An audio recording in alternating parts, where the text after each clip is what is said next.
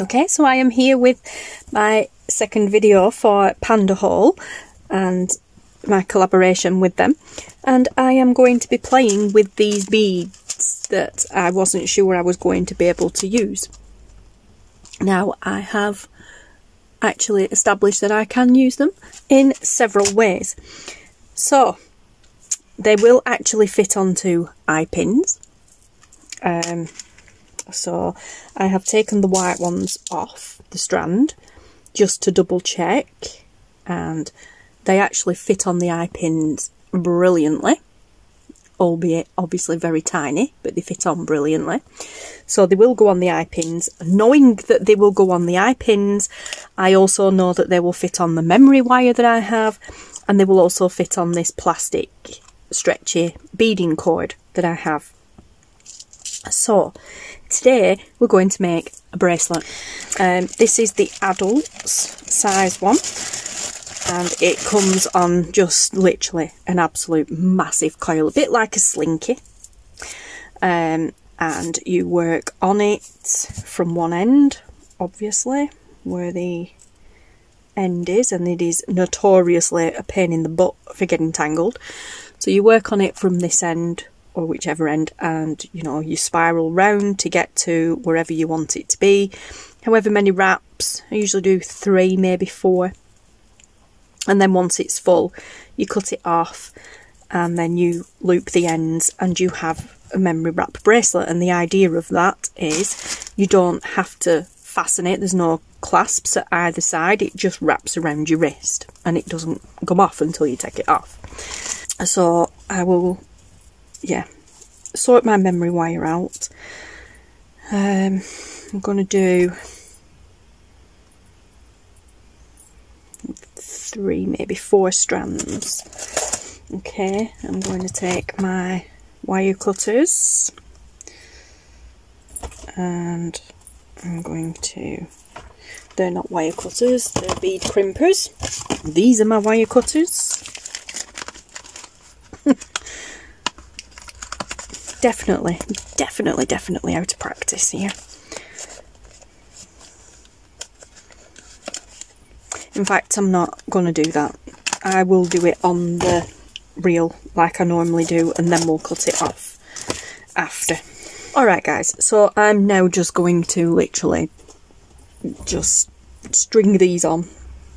I will use my 4mm spacer beads in between so I'm going to actually start with one of those because when we finish we're going to actually loop that around and wrap it. Um, so and I will use these as well. Oops. So how did we have it? I think we had the spacer beads didn't we? Either side. Yes we did. Okay. So I'm going to put that on. Then I'm going to put a spacer bead on. Then I'm going to put one of the bicones on.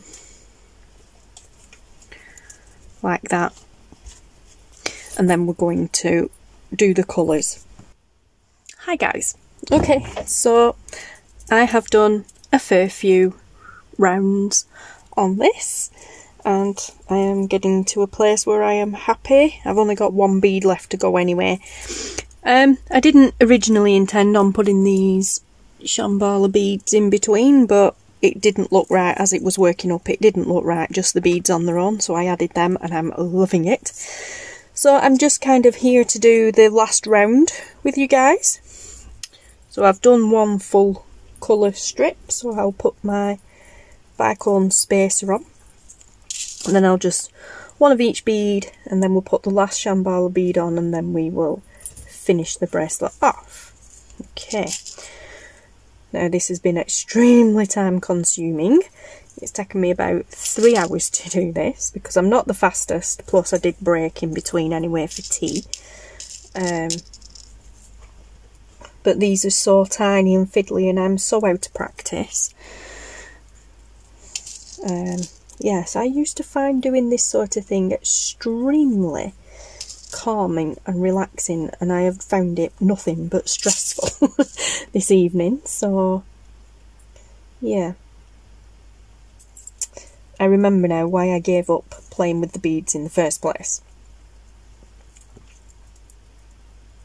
Also apart from the fact my eyesight is absolutely atrocious right now I cannot wait till Friday to go for my new eye test well, not new eye test, but go for an eye test and get some new glasses so I can actually see, um, especially close up. Well, we was quite lucky on that round, and the beads actually worked, but as you can see, there's a nice little, well, I don't know if you can see, yeah, there's a collection of beads there that didn't go on, because not all beads are created equally, and not all bead holes are created equally either and yes, quite a few of them didn't go on. So, you know, the annoying thing with these is when they don't quite fit as perfect as you want them to, they don't slide down properly. And we need them to slide down or up to be tight. Okay, so we have come to the end of that double round now, so we're going to put another bicone spacer bead on, well, a bicone bead on. Then we will put a spacer bead on. Then we'll put the shambhala bead on.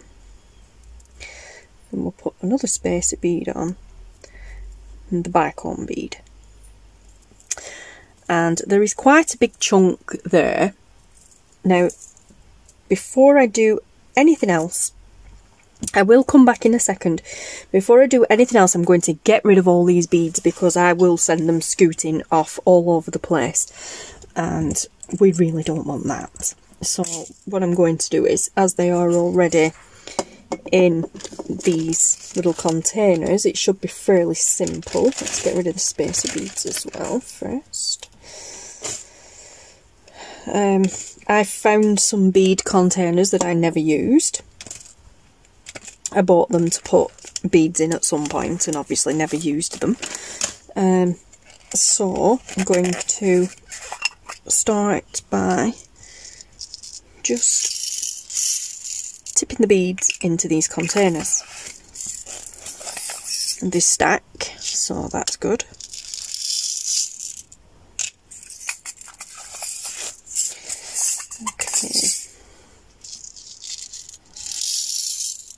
I love these little plastic holder things. Ugh, I don't like that squeaky noise, but...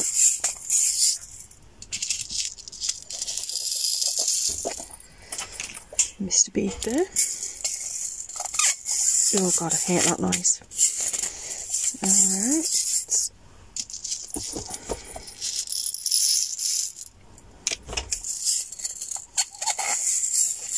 horrible, horrible noise. Okay, now, this is the bottom of this container, but if I take that base away and take the top off this one, put it on that one, I'll have a single container. These will then stack on the bottom of here. So I can continue to stack my beads.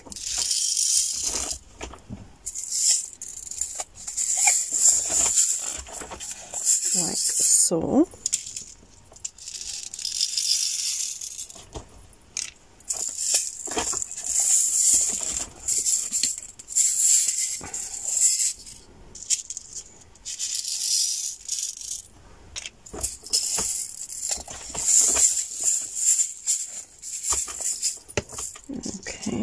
Going to have a container left over as well.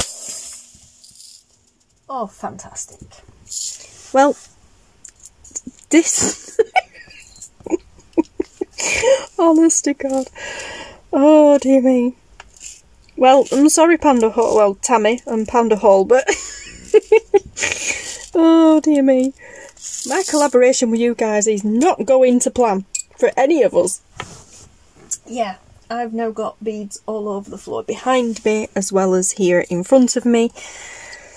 So, yeah.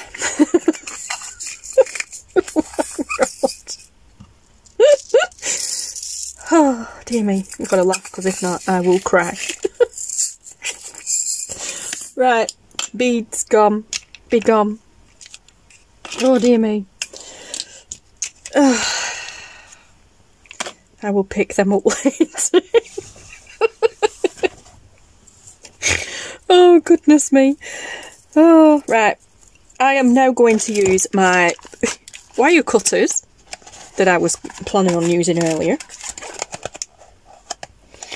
I'm not sure if I kept that part of the video in. oh dear, sorry I've got the giggles now, that's never good. Right, so I'm going to find where the clip is on the bottom part of this and I'm going to clip it all the way down there so there's quite a big chunk on there, that's fine. This has got completely tangled up whilst I was using it as well so yeah, nothing has gone to plan. Right, anyway, that's fine.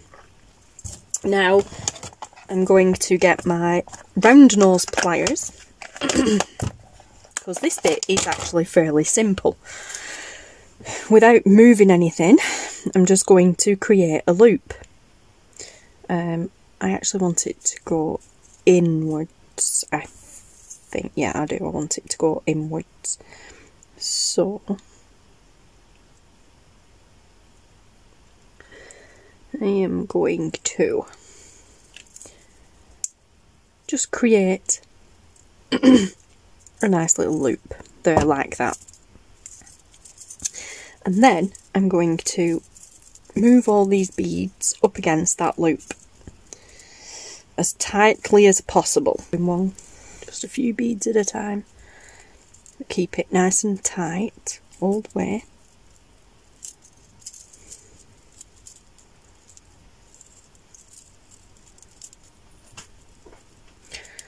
Oh, the kitten's gonna have a field trip, field day now. dear me, dear, dear me. oh, here we go. Connor, out. Right, so there we go, all the way around. Right, now that's as tight as I can get it for now, so I'm going to put that bulldog clip up against there. I'm going to get rid of the kitten. Well, that actually wasn't as bad as I thought, and beads have been salvaged. Okay, so they're all in there. The kitten is now not eating beads. Right, now I'm just going to double check that they are all nice and tight against there.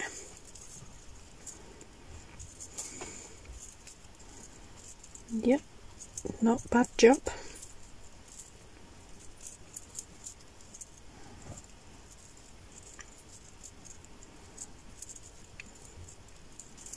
Okay, so we can take that off. Now this is way too long, so of course we need to clip it off. Okay, and then back to like we did with the bead dangles in the previous video, we need to make another loop. Look, this side. This is way too much, so again, from the last bead, about a quarter, well, or a finger's width, because I'm not bothered about this being a slightly bigger loop. And cut. And I've cut too much off. Great. Um, yeah, so we're going to loop this inwards again. And because I cut too much off, I'm going to go right at the edge of the pliers. So it's going to be a bit tricky for me. Okay, but it's done. I'm used to this sort of thing. okay, and there we are. So.